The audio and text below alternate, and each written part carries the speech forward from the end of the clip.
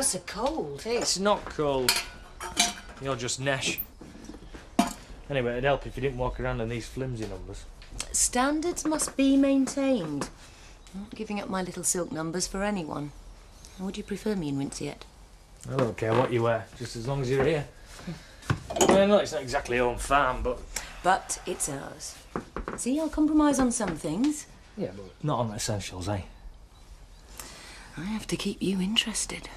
I mean, Kathy's already got her foot in the door. Who knows where that could end?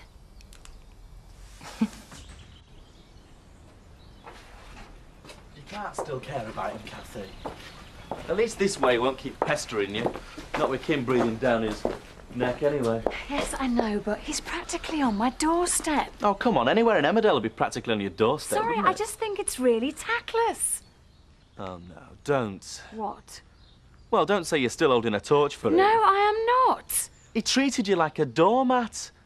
Playing away behind your back. Practically made a laughing stock of you, Kathy. Thanks, Nick. Look, Sean's worth 10 of Glover, and you know that. You can't still care about him.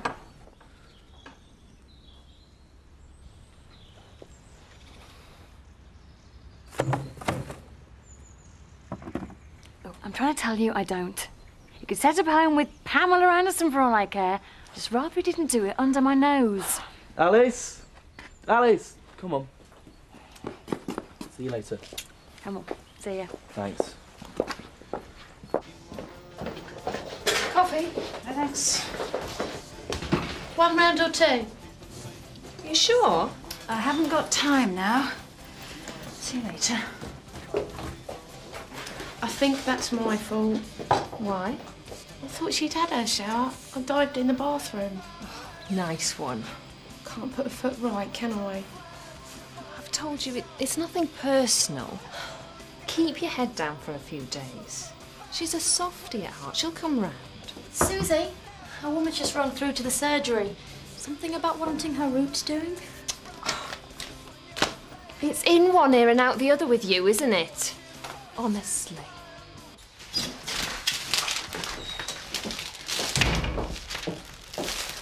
Vivian Winder? Windsor. It's over there.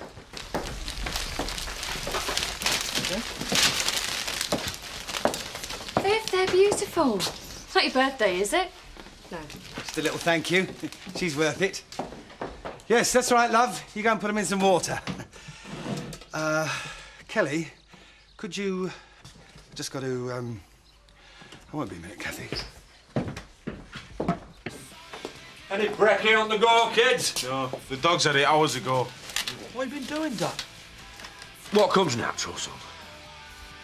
Eh? Have a word, Mand. It's Mandy to you. Suit yourself. Come on, Zak. We'll grab a quick bite in Leeds before we get cracking. Leeds? Oh, we're going shopping, aren't we, hon?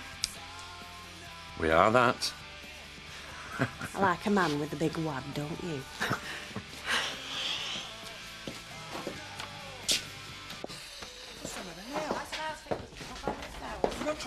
you. Right, I think that should do it. just get- Mind you, let's about just forgot get them some something. water. Head like a sieve, me. Give me the vase. my Now look what you've done. I didn't do that. If you just let me to do something, I could get on with it, couldn't I? I can manage. I'll go into Hotton's, buy a new one. This was a wedding present, this was, from my Auntie Frances. I bet you don't even remember who she was. Of course I do. Love. Oh, me. This is typical, this is. You treat life like your flaming shop. Everything's got a price. Babe. Break a vase, buy a new one. Accuse the wife of adultery, buy her some flowers. Well, I'm telling you, it's not going to change anything. I know that, love. I, I was just trying to say I'm sorry. Yeah, so am I. Sorry I didn't go for it with Terry. Hey? You heard. He treated me nice. But then it doesn't take much these days. Viv. Being treated like I exist. That's all it takes to turn my head. But then whose fault's that?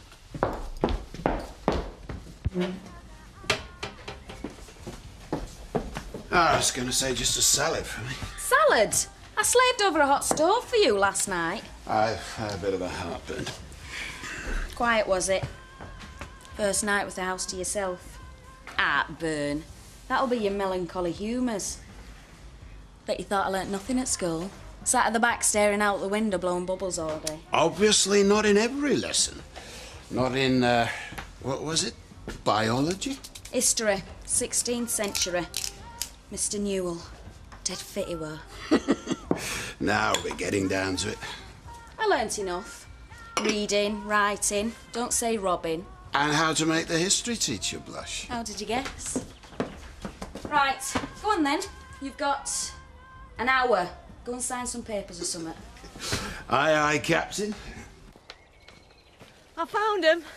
Have you, love? Yeah, they're in that box about the airing cupboard. Ah, good. So I'll just nip up to Dave, see how he's settling in. I expect to be glad of these. I won't be long. I left you some sandwiches in the fridge. Oh, great. Hey, don't forget to tell him we were expecting this aft. Yeah, tell him he can get his hands mucky for a change. I won't. See you later. See you, love. Right, come on, we'll get them logs finished off. Aye, all right.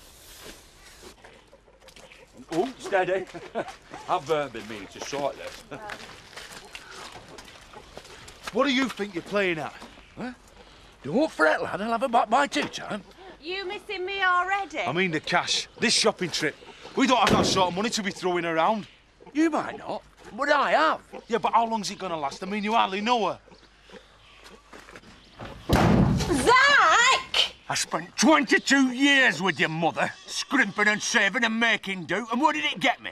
She took herself off, wanted something better. Well, no more. While I've got it, I'm going to enjoy it. But what happens when you haven't? I'll still have Marilyn. Rach!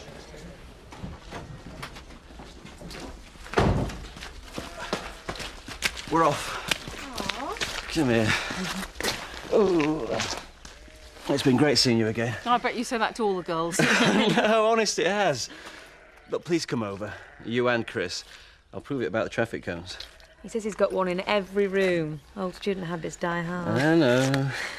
Look, it wasn't the drink talking. If you have second thoughts about finding a job, give me a ring. So you're looking for someone with no skills, half a degree and a baby? Oh, Miss Self Esteem 1996. I mean it. I could really use you. Common sense is thin on the ground. It's Josh. Heavy squash match at one. Take care. Thanks again, Sarah. Thank you. See you later. Bye. Oh, Steve. Recognise these? we found them under your bunk. He doesn't change. Thank you. You're welcome. Bye-bye. Bye. Oh, they're all right. And cheap. Well, it's only temporary. What's the point in chucking money away? Oh, quite right too. Well, Let's not bother.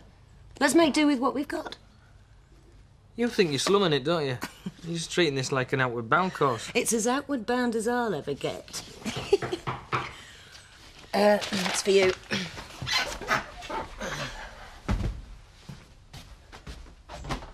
I gave lots up to jumble, but I knew I kept the ones for this room. Oh. Guess what, Kim? Mum's bought some curtains around for us. Us? Yeah, Kim's moved in. Well, I've, I've just come to drop these off. I'll not stop. No, Jan, come in. It's not exactly homes and gardens, but please, sit down. Yeah, it wasn't when we lived here. Right, I'll put kettle on.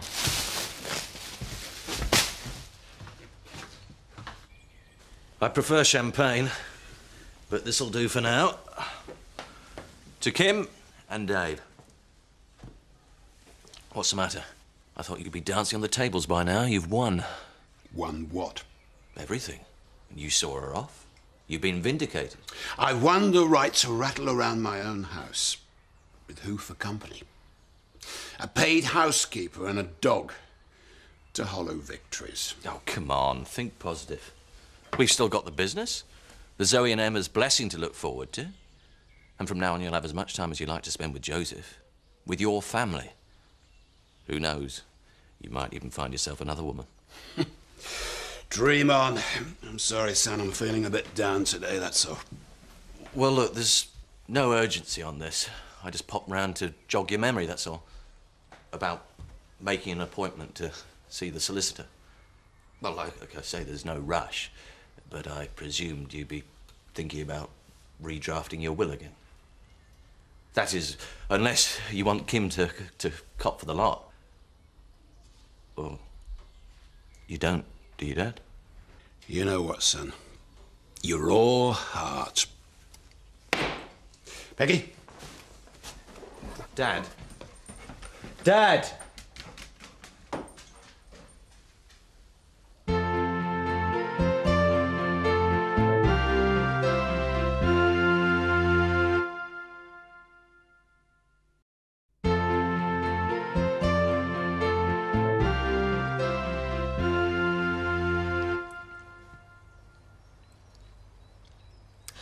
Told you your dad is expecting you this afternoon. Yeah, yeah, he said.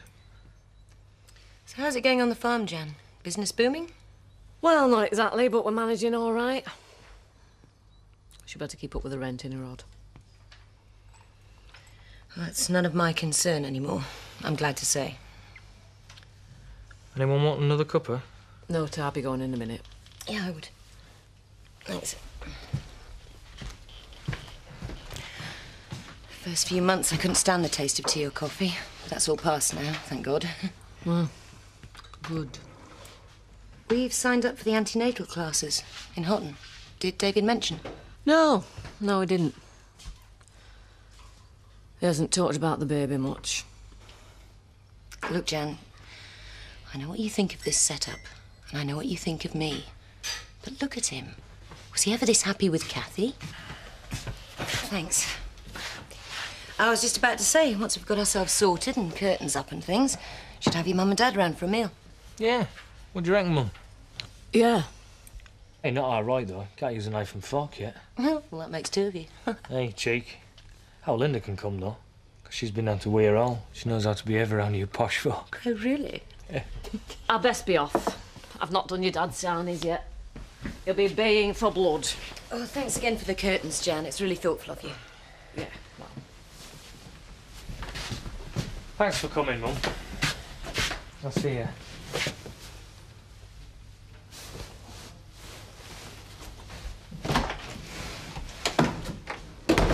Come here, you. What? oh, what's that made of? Thanks. What for? You know what for? For being brilliant. Hey, get off you. This is a prezi. Who for? Our Dave. He's moved into one of the cottages down the road. Is that good? Yeah, of course it is. Somewhere for me and Biff to crash from time to time. Yeah, like every night. No. And somewhere to have a party without my mum barging in at midnight with a hoover and knocking everyone's drinks over. Oh, parties, brilliant. I thought you didn't go in for parties in Emmerdale. Why? Oh, I thought you didn't go in for much in Emmerdale, to be honest. Oh, well, you've got to stick with the right people. Oh, you mean Emma and Zoe aren't the Uh, right? in a word. oh, hiya, Nick. Where's Biff? Oh, he's uh, he's not coming. Chris has got his knickers in a twist over something, so he sent him on an errand. Great. Oh, never mind. Hey! Waste not, want not. Shouldn't you be cutting someone's hair this afternoon, anyway? Oh, some farmer's wife who's got a bird's nest on her head. I don't think she'll notice. What's with the uh, Spaffy film sensation then? Oh, very clever, Nick. It's a bribe to get her brother to have a party in his new house. Oh, nice. Lady Muck'll love that. You what? Kim. Oh, you mean you don't know? She's moved in. So, how's it going? I'm not being funny, Terry, but right now you're the last person I feel like talking to. Yeah? I thought we got all that sorted out. So did I. So did I, but I was wrong. Way off beam. With the lady of the manor. Yep. He's got some bottle. you could call it that. I can't believe it. I thought he'd seen sense. You don't like her then? Like her? She's a right snotty cow. Linda, it won't last. I give it a week, two tops. You see, she won't be satisfied because she's used to the life of luxury at home farm. There's no way will she be happy with that poky little cottage. Hey, that poky little cottage used to be my home. And here's me thinking Emmerdale life was quiet.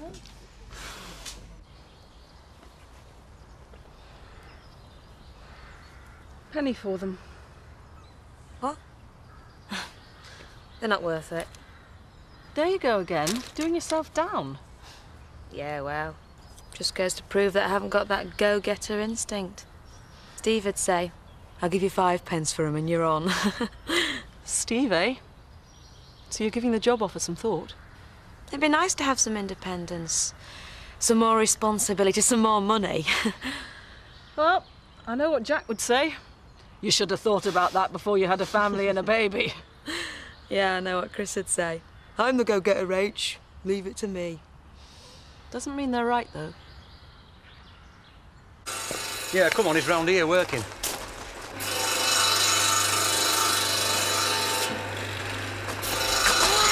Right! Roy! Got visitors. Go on, get off with your mates. I'll finish up here. You sure? Yeah, you're on holiday, aren't you?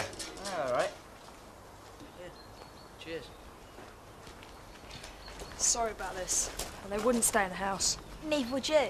Well, what's been going on? Well, it's Mum and Vic. They're fighting all the time. They're getting divorced. Oh, you're joking.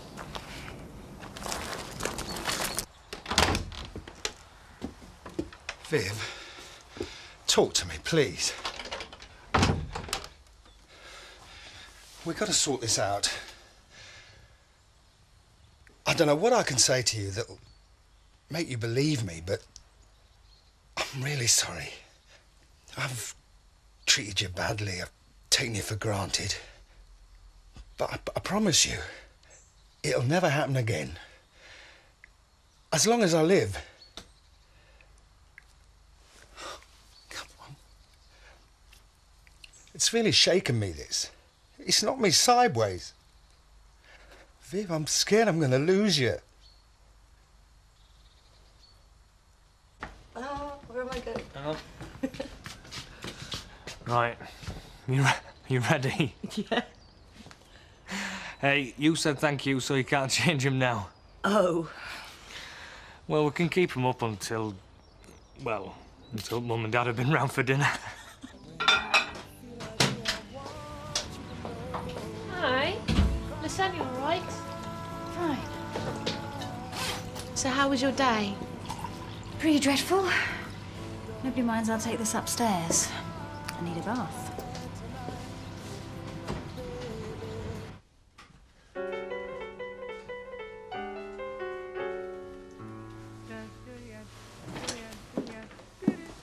I'm off now, Frank, if that's all right. Of course. Your dinner's in the oven. Will you be all right? Me? Of course I will. Only we might go down the Woolly later, if you fancy a stroll. Who's we? I don't know. Me and our Mand, Sam, Butch, me dad. Oh, and his new fancy woman if we're really unlucky. I don't think so, Tina. Suit yourself. I don't think your father would be thrilled if I turned up.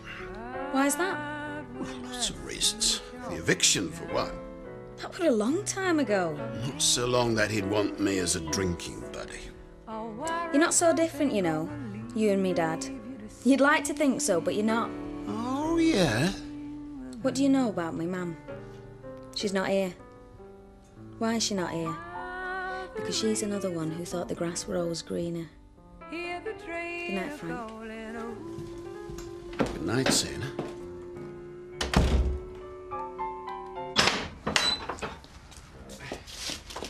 Will you look at this? Speak no evil, hear no evil, and see no evil. Have you three not moved off there all day? Yeah. I'll tell you what, Zak, they don't take after you. Nah, well, Mother used to spoil them.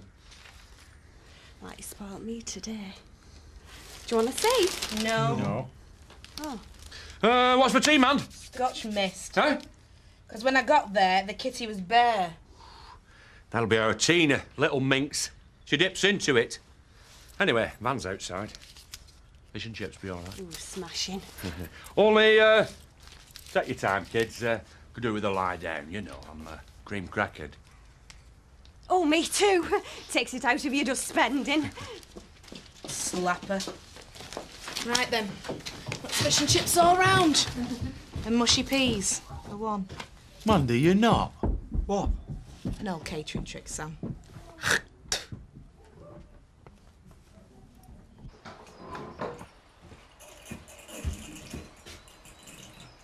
Have you got a thing about bathrooms?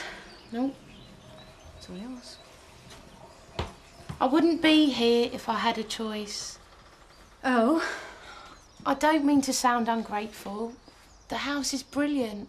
Emma's great. You'd probably be sound if I got to know you. Emma certainly thinks so.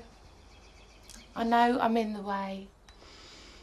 Any friend of Emma's is Is a a friend. friend of yours. Do you know why she finished with me? It's none of my business. Because I'm a walking disaster. A drama queen, if you prefer. I blundered from one trauma to another. And yeah, probably a lot of it is my fault. That's why I'm sitting here with no job, no home, no money. Are you sure she didn't tell you? Nope. All that stuff's a buzz for a while. Living your life at 70 miles an hour. You get sick of it pretty quickly, though. Emma did. You've got it sorted. That's what Emma wanted. That's what Emma deserves. So what? Emma's just with me because I'm respectable. No, that's not what I'm saying. That's not what I'm saying at all. What then? Emma took me in because she felt sorry for me. She lives with you because she loves you. That's all. Zoe! What's going on? Nothing. I meant what I said. Stay as long as you need. Thanks.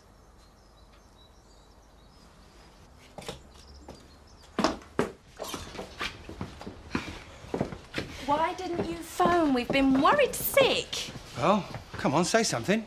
Would have stayed out late if it weren't for her. What? Surprised you noticed. Why? We've been fighting all day, all week. Well, look, your mother and I, we got something we want to tell you. You don't need to. Hey? We know. You're getting a divorce. You are, aren't you? No! Vic, Whatever give you that idea? you've been at each other's throats for days. Yeah, well, y- your mother and I, we've uh, we've had our differences, but uh, I- I realise now that uh, it's most of it my fault. You know, well, all of it's my fault, in fact. But uh, we're not going to get divorced. We uh, we love each other very much. You silly girls, come here. And you, Get off. come here.